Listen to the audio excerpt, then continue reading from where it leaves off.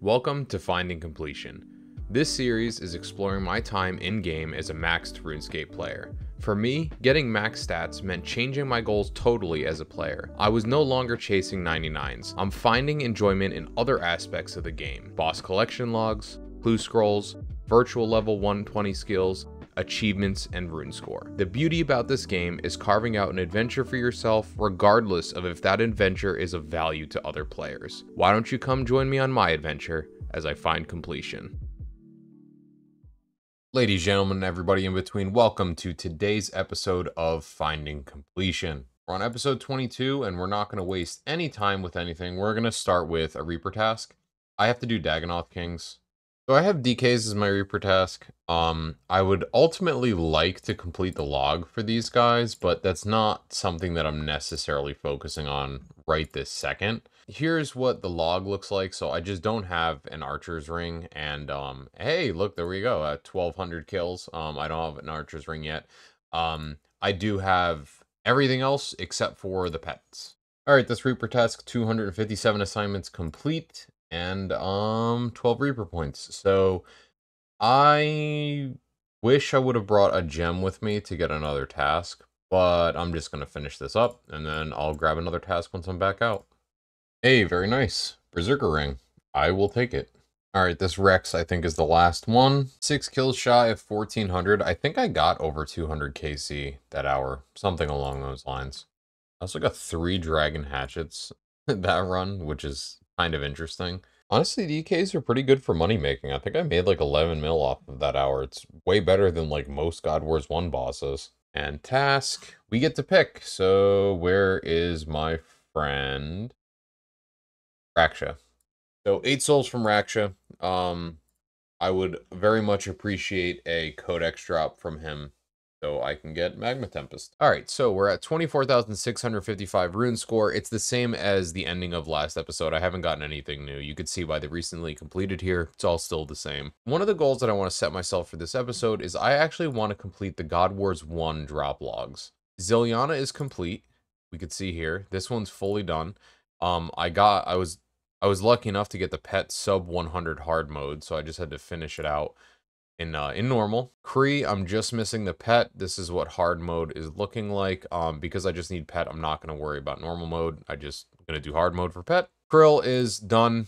Uh, this is what that looks like. Kill count here. And then Graardor. Now, this is the boss that I'm going to be focusing on first because I still need two items, so I need the Tassets and Gloves, and I need Pet. I'm also almost at 1k hard mode kill count, and I haven't gotten the Pet yet. So I'll hit Threshold once I hit 1k, um, but, you know, we'll see how that goes. For those of you that are curious, this is what the setup looks like, and it's just the PVME AFK hard mode Graardor setup. Um, this does use a Hellhound, so you do need to have the Hellhound either scrolls or, um, what is it, the the Prism of Drowsing, Prism of Restoration, uh, in order to actually heal the Hellhound up. Honestly, I can't wait to be done with this because I am so tired of doing Graardor. The money here is god awful, and I just want to be done with the log. Not that I'm expecting the money to be good, I just want to be done. Alright, and there's 1,000 General Graardor hard mode kills.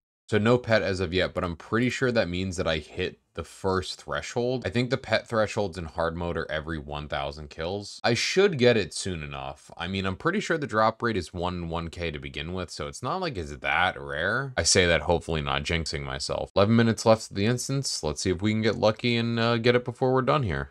All right, that hour's down and uh, I don't got anything. So let's collect ourselves and go again, I guess. All right, here's the skinny. So before I go in for this next hour, I'm actually going to go ahead and do a wilderness event. Main reason being is, where is it? It's right here, the last walk on the wild side that I need to do. This will be my 250th uh, wilderness event. I really only do the special ones, and this one is the Infernal Star. So maybe I'll get a uh, maybe I'll get a Dark Onyx core. I don't know. We'll see. I have gotten one of them, and I sold it for like 1.1 bill. I know they're not that expensive anymore, but I mean, money's money, so we'll see what's up. Well, I accidentally missed it, um, but you can see in the chat box there that, uh, that I got it. I forgot that some of the, the special events count as multiple, so that's why I, I didn't get it. So might be on that, but yeah, there we go. 250 wilderness events complete. I will see you in a minute or two to open up this uh, reward bag. Okay, and ranged and unchecked dragon egg. Nothing exciting. All right, so I think before reset happens, I'm gonna try and get this uh this Raksha Reaper out of the way. It's 8 kills, so it's going to take me more than the 30 minutes that my aura has, but I should still be able to do it before reset to get a new task. So here we go. Here comes the Gricko.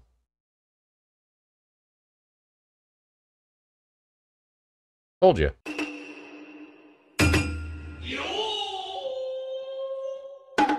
Alright, this is going to be the last kill of this instance. There we go. Time to get out of here. So that was currently the fourth hour since I've started this video, and if we take a look, 1,227 hard mode kills currently. In the past four hours, I literally have gotten, I think, two War Priest pieces and a chest plate. so I, I've probably lost money in the past couple hours, but uh, so is Bandos, so here's to hoping hour 5 will be the lucky one. Alright, I think before doing any more Bandos, we're to go do Kerapac for a little while to do this Reaper task, get it out of the way. I haven't done Kerapac in a pretty long time, so we're just to go ahead and uh, see how this goes. 75 Kerapac kills and a new personal record of 2 minutes 9 seconds. Very cool. Let's fucking keep going. All right, here's the last kill. Surely this will be an undeserved pet, am I right? Damn, I could have been so sure. All right, I kept everything in my inventory that I got from doing an hour of carry. 8 mil in an hour. That's really not bad. I'm I'm not to get rid of those though. I'm to keep them. And actually, let me let me open up my troves. What's it look like now? 9.6 mil. For 1 hour that's really not bad. Um and that's that's just in normal mode too, so that's pretty good. I didn't even do a full hour. I probably could have gotten like another two kills or so. Maybe three kills. I'm not really sure. But um, I finished the Reaper. I don't feel like retuning any of my portals. So Plus, I could really use the money anyway because uh, right here, I got myself a nice Magma Tempest ability codex, and um, that was uh 780 mil. So it was uh, it was a it was a few GP. I got a new Reaper task. I got Dag Kings again. I'm not sure if I'm gonna do them or if I'm gonna go back to Bandos. Um, uh, we'll see. We'll see what I'm feeling in a bit. Oh, I got a pair of Bandos gloves. So I mean that's uh not bad because it's part of the drop log now. I only need the tassets and the pet. Um, I'm on hour six of farming Bandos so far, and at this point, the changes to animate dead have come out, which means this is significantly more annoying to do, uh, because you take a lot of typeless damage during this fight on hard mode. I'm just hoping to God that I get the pet soon so I could leave. Um, you have to pay a lot more attention than you did before. It's not impossible to do, but for example, like this right here, um, you take a lot of typeless damage. And hey, Bandos hilt, oh, that's cool. Back to back, back to back drops. Not worth shit, but you know, something, I guess. But yeah, so here's to the rest of hour six. Maybe we'll get lucky with a pet. We'll see.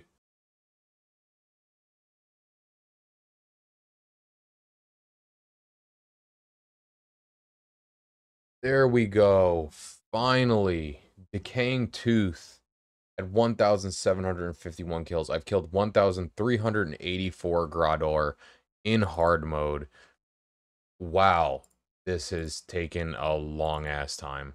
All right, I'm just going to finish out this instance because I still need tassets anyway, so I'm not totally done with drop log. I still need to get tassets. So I'm to have to do um, normal mode for a bit. I'm hoping that I'll get them pretty quickly. I believe we're seven hours in at this point since uh, I've given myself this task at the start of the video. And I don't exactly know how many hours I've done of Bandos total because I hit 1k kill count and I'm almost at 1400. So yeah, not quite sure.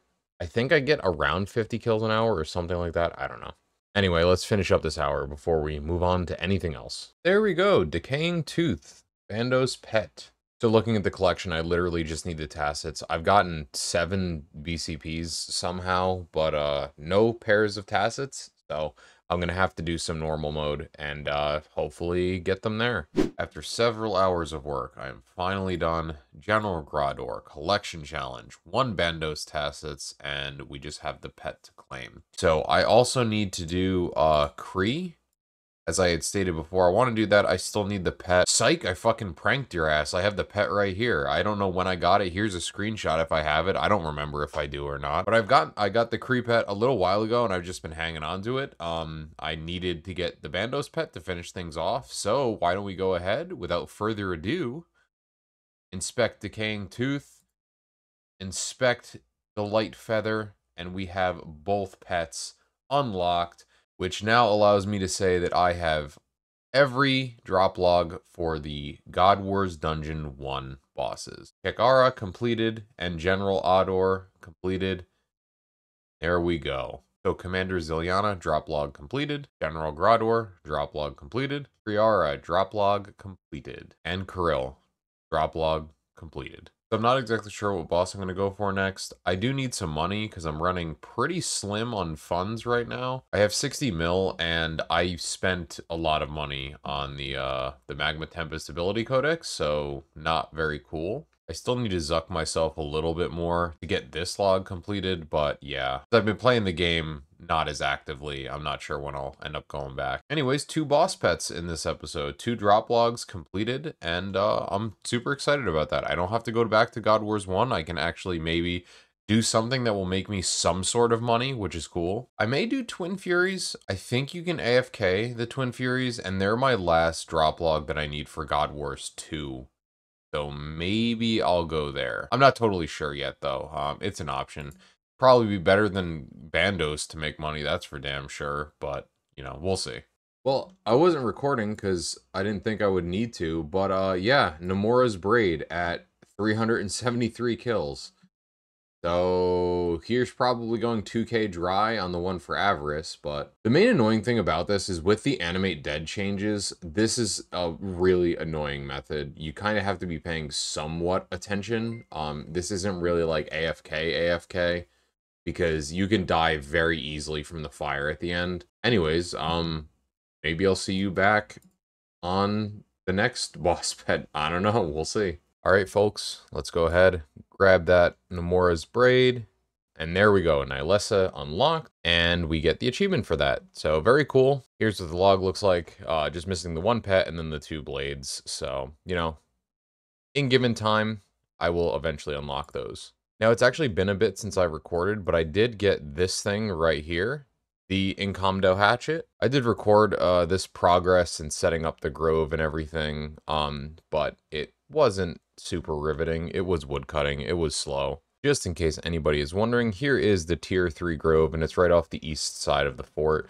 Um, you can build this little side gate to get through there. Um, has a fairy ring, has a tree patch, and then an elder tree over down here. And something to note if you didn't know, you can talk to Oak after you build the tier 3 cabin, and he will give you a just free Imcando piece. If you have three out of the four pieces like I did, and you were just spending hours on getting the, the last piece, you could talk to your friendly neighborhood oak over here, and he'll actually give you the last piece. I my, One of my friends let me know. I didn't even realize that was a thing. I think it took around 8 to 10 hours to actually get the hatchet here. So it did take a little bit of time. I mainly just cut elder trees the entire time. I just did rotations of elder trees, and occasionally I went and, and chopped the ivy as well, but mainly was the elder trees that I did. And now I have this uh, as well as a crystal hatchet still to combine to make the tier 91 um, when and if that comes out. All right, I think what I'm going to do is I'm going to do a Zuk run. That's because I have a Reaper task of Jad.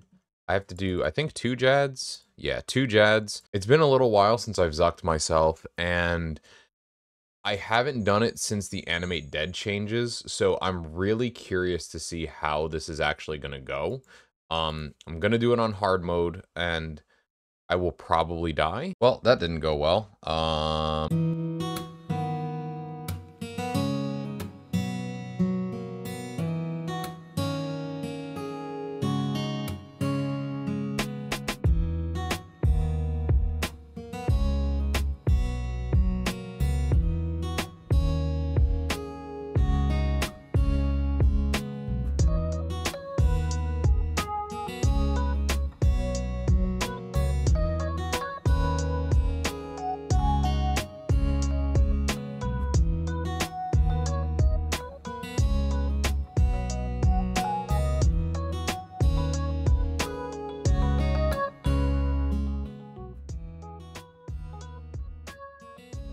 piece of shit.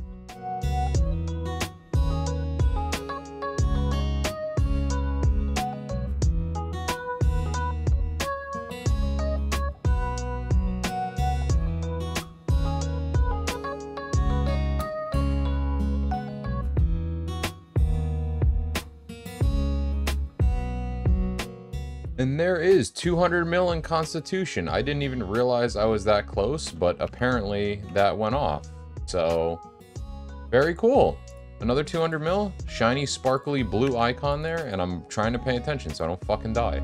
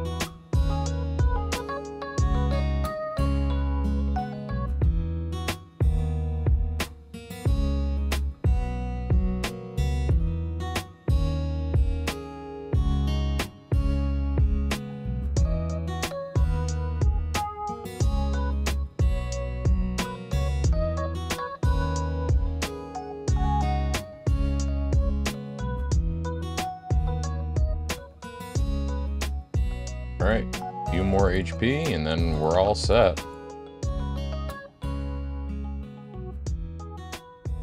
There we go. And nothing. Very cool. So there's definitely more use of food now that Animate Dead has been uh, has been changed, but um, it's still it's still fine. I was also a bit rusty, so that doesn't help. As for loot, just about 10 mil um, is what that run was. Not terrible, but uh, that was 15 kills now for me. So 15 hard mode kills is what I'm at currently. I don't think that run was tracked. Doesn't look like it. So definitely was longer than uh, what my previous run was. I'm not sure how long that took. And I gotta say, I'm glad I got my Blessed Flask specifically for this.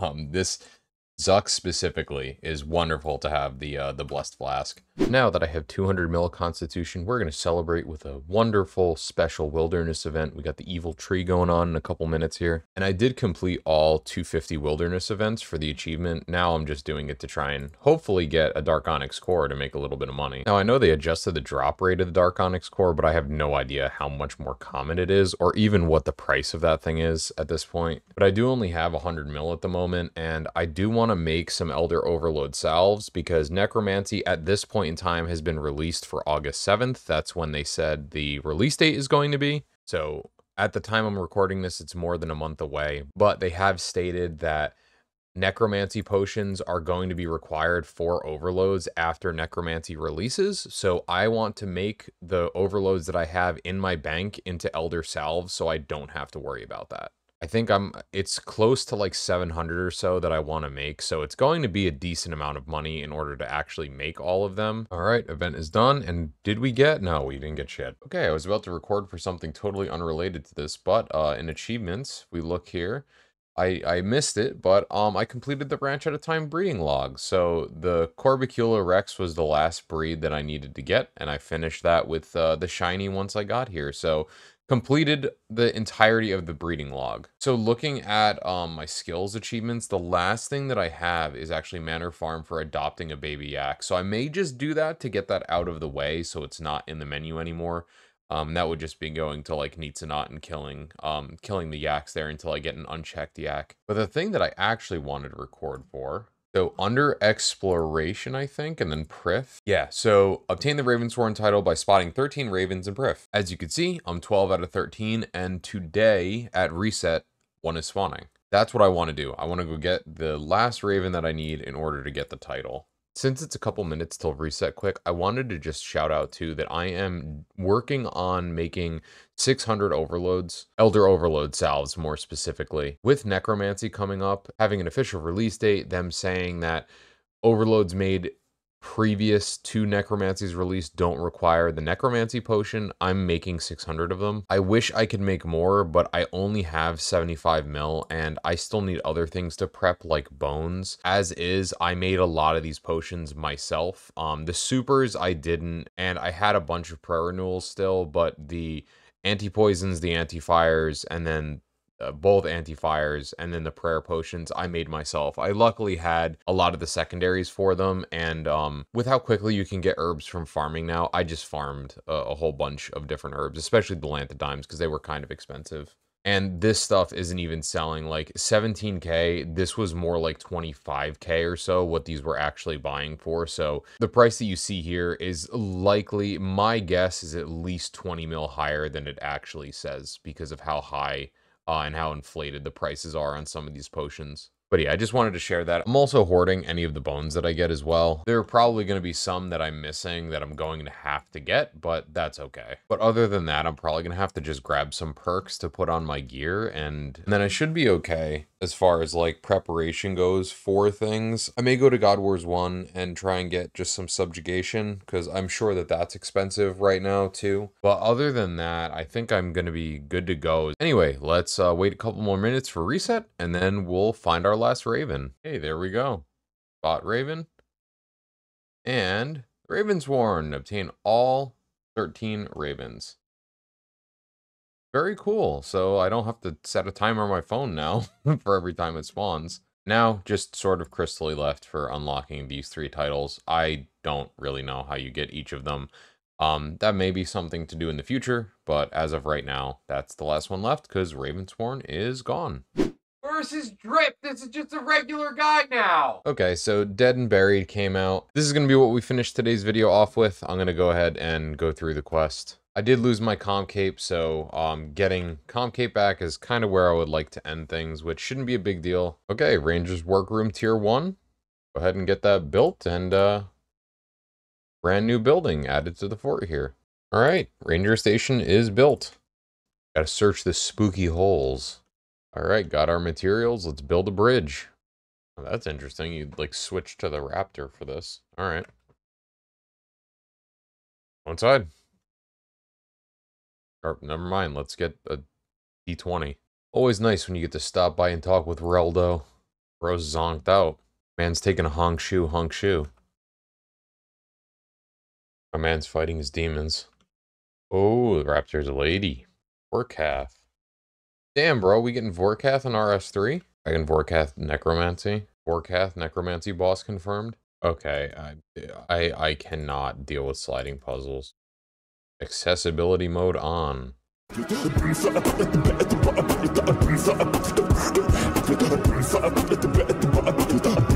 Oh my fucking god, finally. Holy shit, fuck sliding puzzles. Holy, oh my god. It took me 25 minutes to fully solve this puzzle. It, it literally took like twice as long to do this puzzle than every other step up to this point. It, it's uh, I can't I can't with the sliding puzzles. I hate it. Found a new island in the uh, Fremennik region called Ungale. Or Vorkath is there. We'll see. And there we go. Dead and buried complete. All right, so Quest Cape is back now. All that's left, I got to build this up to tier three, and then I got to do some fletching. All right, tier two is built. All right, fort of my own, tier three done. Okay, now you can see down in the text box here, um, I have to unlock the Wisdom of Anima perk for at least one of these arrows. Uh, so I'm going to go ahead and do that.